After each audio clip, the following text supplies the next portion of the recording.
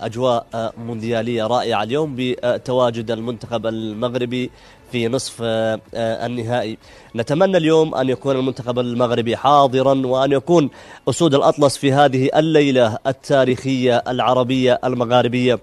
أن يكونوا أيضا حاضرين وأن يتأهلوا للمرة الأولى لمنتخب عربي أن يكون حاضرا في المباراة النهائية أمام المنتخب الأرجنتيني. نرصد الآن الأجواء.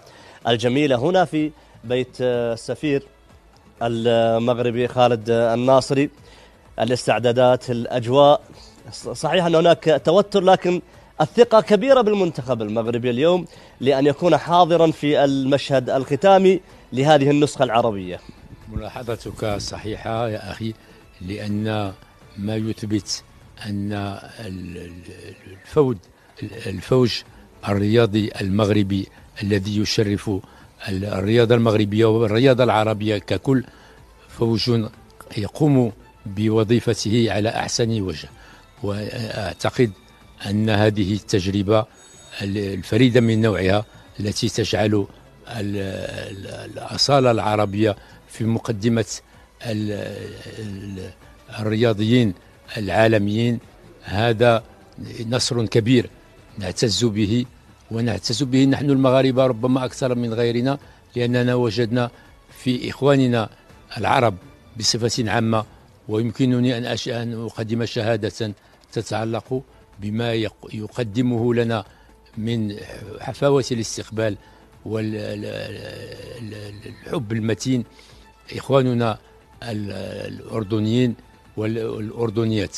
ولهذا أنا أعتقد بأن هذا اليوم سيسجل بمداد من الفخر بالنسبة للمستقبل ونتمنى أن نرى في المستقبل القريب العرب أكثر وجودا وأكثر تألقا مما حصل. نحن فتحنا الطريق ولكن لن نتوقف عند هذا الحد والعرب لن يتوقفوا عند هذا الحد. يعني نحن ونحن آتين هنا إلى المنزل سعادة السفير. وجدنا أن الشوارع خالية القلوب تخفق مع المنتخب المغربي.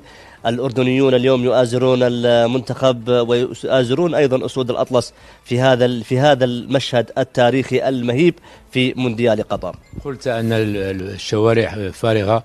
أنا أضيف الشوارع فارغة والقلوب عامرة.